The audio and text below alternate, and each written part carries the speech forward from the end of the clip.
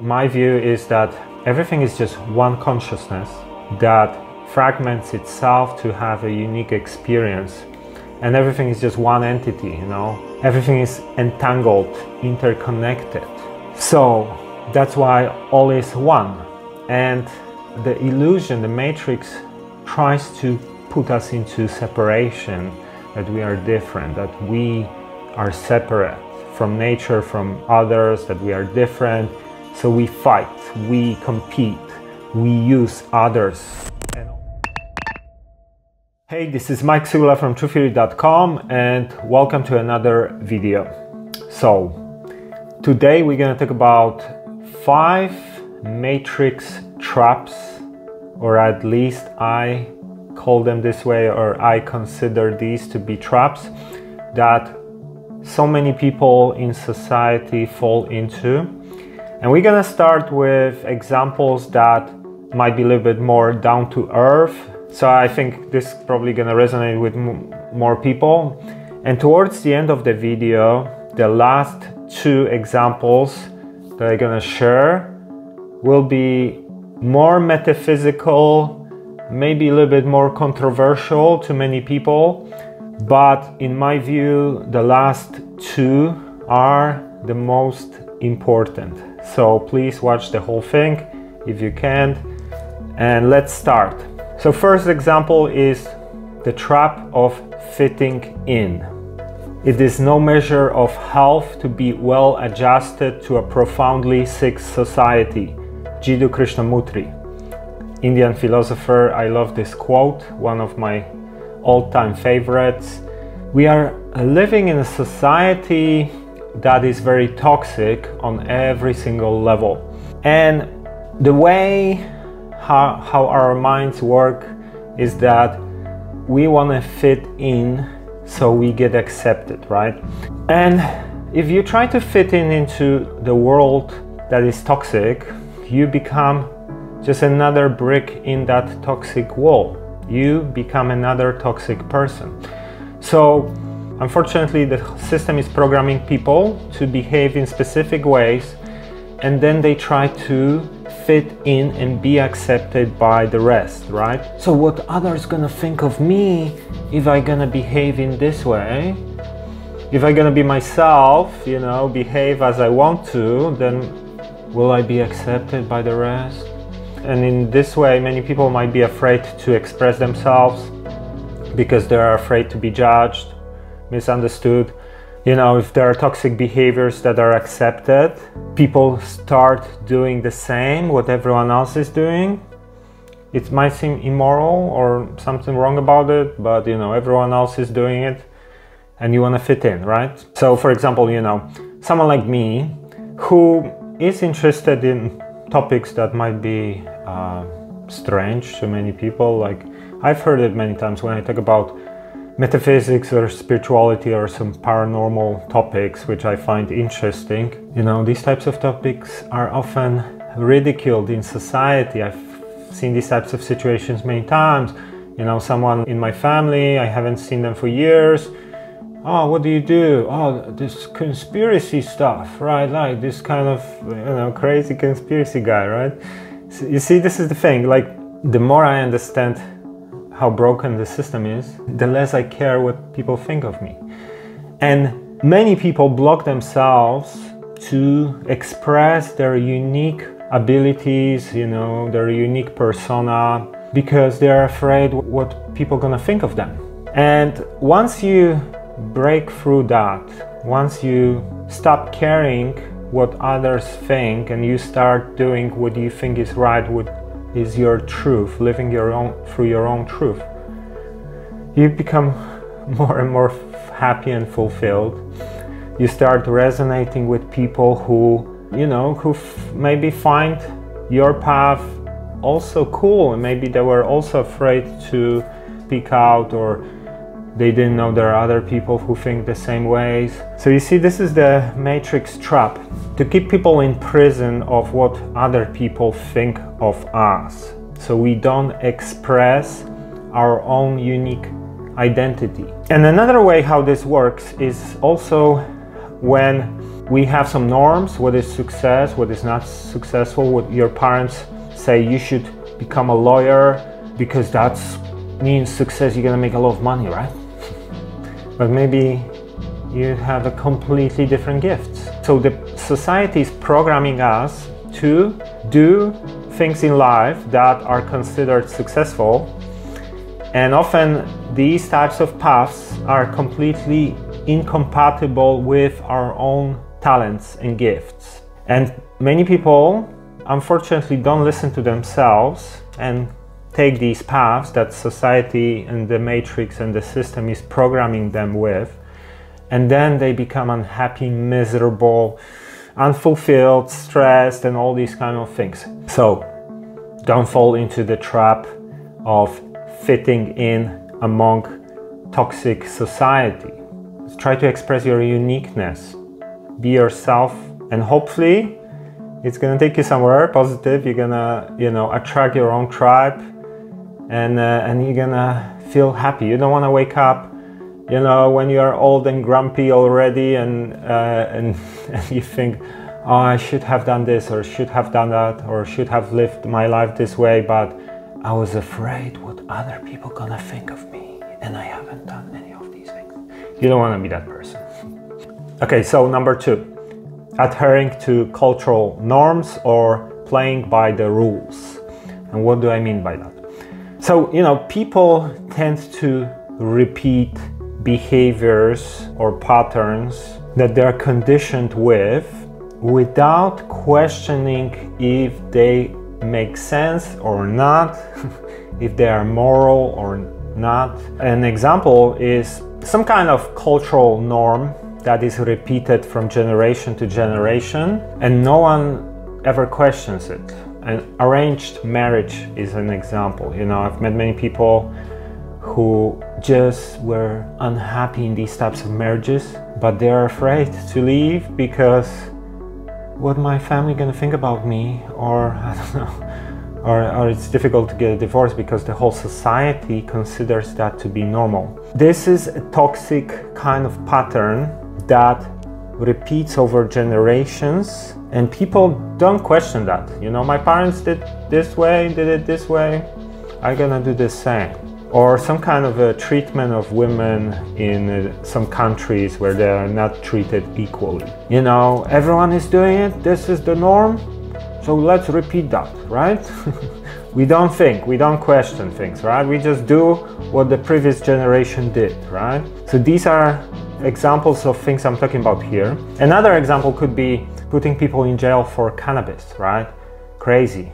You have countries where cannabis is accepted, no issues. It's often considered way safer than alcohol in many ways.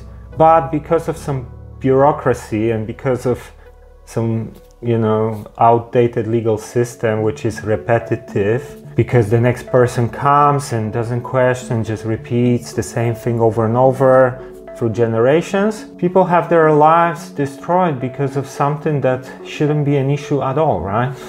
so these are examples of what I'm talking about here. Another example could be parents who, you know, repeat what their parents did, what they thought is the right thing. So for example, parent thinks that the child should do this thing. I know, you're gonna play piano because maybe you're gonna become a famous pianist, or you're gonna play tennis because this could be a good career or you're gonna go to this and this school because you're gonna become a programmer and programmers make a lot of money. So having your own biases as a parent and forcing them on your child because you think this is gonna be good for them when they might want to have a completely different path. They might not be talented in those specific areas you think gonna be good for them. And then the result is complete opposite. The child had to do something that was not good for them and the child became unhappy, miserable, and then started reacting and creating trouble as a teenager and all these kind of things. So, you know, these types of toxic, repetitive patterns that people repeat and don't think about, don't question, They do because this is the norm, or this is what I was told, this is how I was raised, and all these kind of things. This is what I'm talking about here. So, number three, happiness is external, is conditional. Ah, I see it all the time, all the time. it's funny how people always fall into this trap. Yeah, when I gonna have that car, I'm gonna be happy, then my life's gonna get better. yeah, you're gonna get that car and uh, you're gonna enjoy it for two months, maybe. You're gonna get used to it as quickly as you got used to to every other thing you bought so far like your phone your computer whatever the gadget you thought it's gonna make you happy and uh, what's gonna stay the payments for another five years to pay every month. So you have to work your ass off to make sure you don't miss the payments. So this is what you're gonna get here. You know, you're gonna get used to it as you got used to everything else so far. and then, you know, the dream passes and you still think about the next thing that's gonna make you happy or whatever. Or, you know, I'm gonna be in a relationship and then I'm gonna be happy right? When I can find love of my life. But now I'm miserable because I'm single. yeah, another trap like that. This is how a lot of people think, right? That if something gonna change or they're gonna get some goal or they're gonna get better job, more money, partner, some gadget, house, whatever, then they will be happy, right? and that's never works like that if it's gonna work it's gonna work temporarily and if you can't be happy with what you got. Obviously you know depends on the situation. If you're having some massive challenges like you can't pay your bills whatever then it's difficult right to be happy. But for most people if you look at how we live in western countries and you compare it to the rest of the world you probably have more than maybe 70 80% of people on the planet right? If you would actually start looking at statistics how people live in many many countries you know whole of africa almost or india or you know some of these other regions in asia where people have way way less and they can be happy with nothing with nothing and then you have us you know where most people can uh, afford most basic things in comparison to, to the countries I mentioned. And you know, some massive percentage of population takes antidepressants, right? It's, it's, completely crazy. So this is the problem, you know, a lot of people, I've seen it constantly, people think they're gonna get something, then they're gonna be happy, and then it's not what they thought, it's not how they thought they're gonna feel. Even if it was like that, it was for a short period and then it disappeared.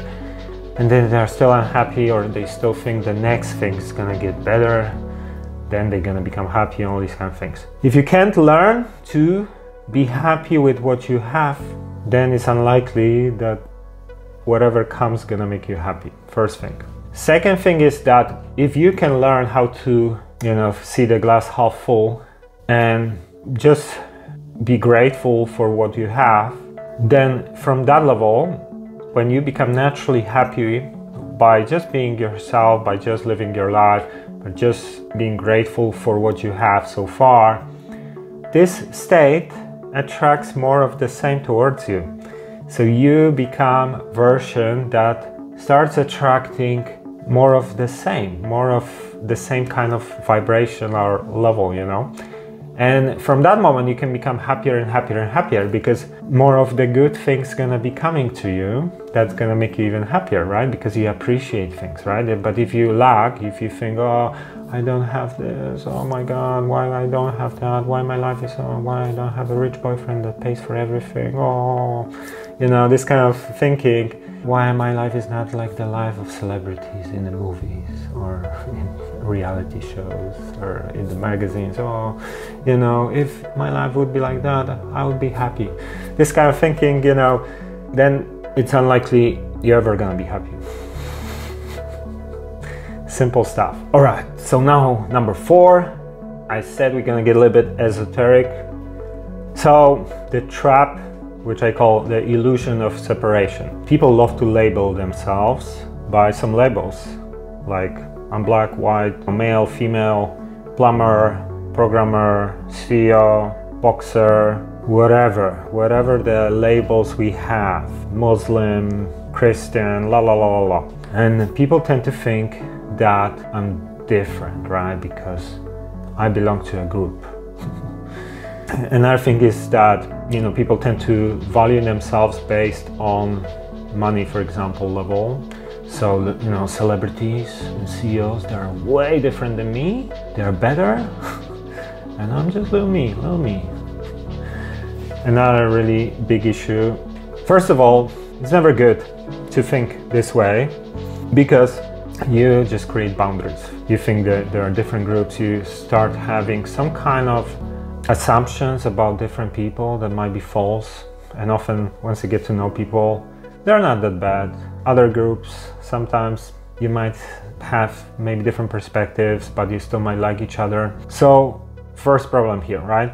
That we create these artificial boundaries through this kind of I belong to a group thinking. Another thing is that a lot of people think here that maybe I'm not good enough. Maybe, you know, I'm not like them. I'm just little me. And uh, often, if you're gonna stop thinking this way, you're gonna open yourself to challenges and possibilities and try things out. Sometimes it can uh, turn out that there are not no such big differences as you thought. For example, you think I'm not gonna be good at this thing like martial arts because I don't know this is difficult. And then you start going to classes in a couple of months and you are good. So you were putting these limited beliefs upon yourself. You know you were limiting yourself through this type of thinking through labeling and things like that. Or I'm not good enough to get this job or I can't become whatever whoever I want to become because I'm not like them you know, we are all not like them when we started, right? Everything you had to learn.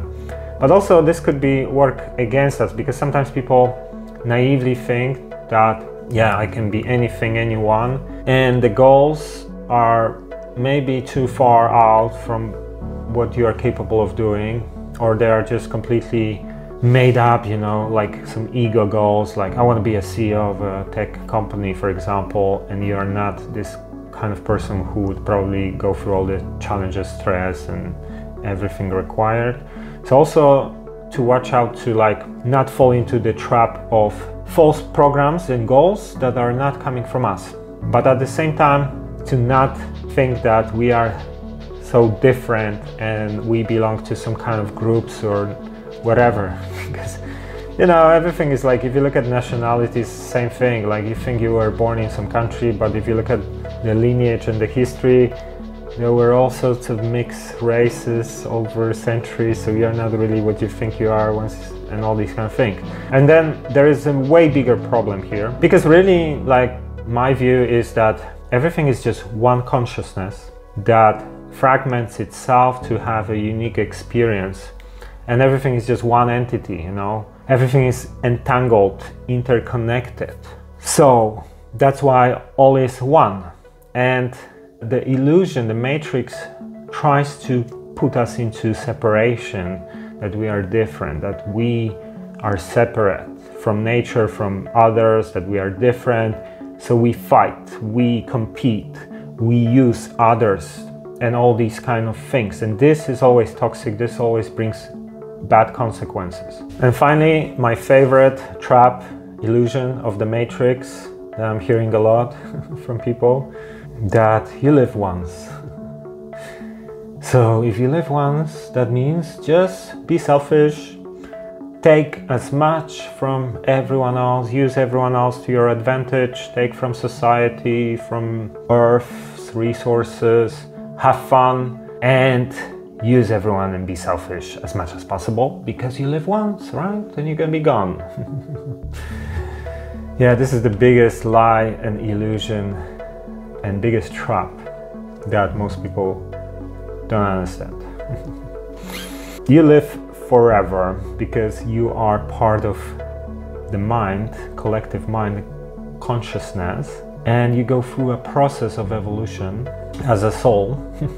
Same way, like every night you go have a dream and you project part of yourself into that dream. This version of you here is, is a projection of the bigger aspect of yourself. It wouldn't be fun if you would remember your past lives because then you would know how to play the game and would be so much fun.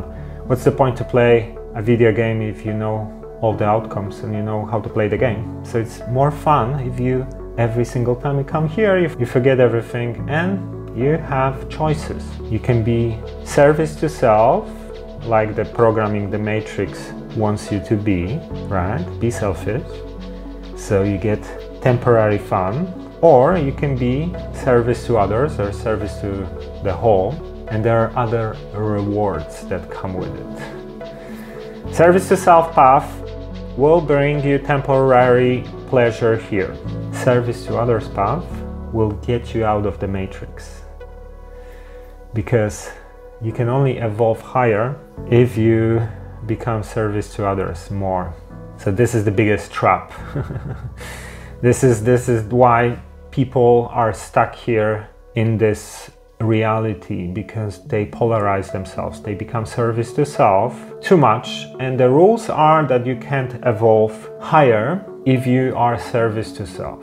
If you are more than 51% service to self, then you are stuck at this level. And if you are like super selfish, super service to self, you evolve, but you change polarity, and it's not fun there. Not fun. Not fun to become negatively polarized entity.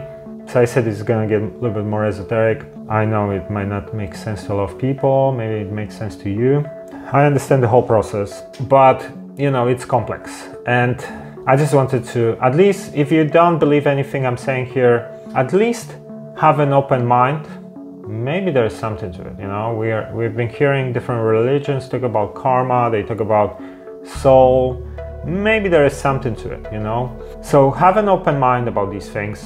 I don't say believe everything I say, but just have these kinds of ideas. And uh, at some point, I'm probably gonna make more complicated video explaining the whole process and give you some evidence and examples. But I'm gonna finish here with my five examples of matrix traps. Hope this makes some sense. Let me know what you think about it in the comments. If the video resonates with you, please give it a like, please, please. Share it on social media and follow me on Instagram. It's Mike Sygula on Instagram. And uh, I'm doing coaching one on one. So have a look at truththeory.com forward slash coaching if you are interested, or send me an email. It's coaching at truththeory.com. This is to do with personal development and spiritual growth. So thank you for watching entire video and if you made it till the end you get a virtual hug from me virtual hug hug you get a free hug at the end because you made it to the end of the video. This is your bonus. Till next time